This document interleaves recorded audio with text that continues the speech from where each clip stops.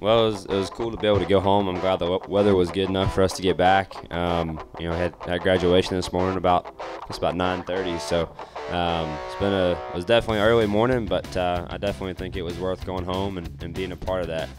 And when I'm home and, and going to school, it's usually uh, you know not not a lot of talk about racing unless they were at the race the weekend before or watching or something. You know, if you have interest in wanting to go do something and you pursue it, I think that's your decision. And you know, I've been fortunate enough to have parents who are supportive of what I wanted to do, and, and what I, what I've always wanted to do is to race and to be a part of this sport. And uh, you know, I, I want to strive to be the best I can, and I think that's that goes for anybody who wants to do something. Being able to spend a little more time at the shop, I think will be good. You know, I've, I've yet to go to a competition meeting this year, so um, you know, I think that's going to be good to be able to show up on Tuesday mornings and, and go to those. Just grow that relationship. You know, try to just build the information feed and everything that goes on around the shop. I think it'd be good to be around for. You know, the information you get post race is just as important, if not more important, than what goes on during the race. So uh, growing that will hopefully be a, a, little bit of a help to us. No, we were we were exchanging texts for sure. Um, you know, I was asking about practice and whatnot, and I was hoping, you know, just wanted wanted information, you know, and, and uh, track conditions and kind of what was going on here. So he tried to keep me in the loop, and um, you know, I, I feel like.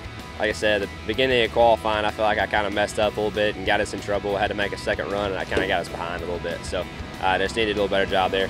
The way the schedule goes, it's time to go racing now. So um, I, am sure they had a party. I just wasn't there for it. But um, no, I would have much rather been here uh, to come race. Is what I've always wanted to do. I, I think more than me missing out, I think they're missing out on being here. So uh, I'm excited to go racing and kind of get the summer weeks kicked off. It, it's a pretty busy.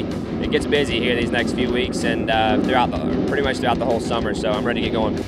This had to work out well for him. His graduation ceremonies were yesterday, and if he had not made it back for qualifying, he'd have had to start. He would have had to start in the rear of the field. Well, on his high school graduation weekend, a top five for Chase Elliott. Uh, today was a, uh, you know, was was a little bit of a, a bummer on that side, but um, Nationwide Insurance Series is tough, and we're looking forward to getting to Charlotte next week and hopefully doing a little better.